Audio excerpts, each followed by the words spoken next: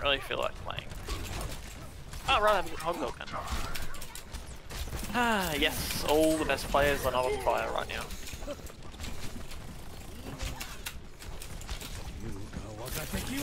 now.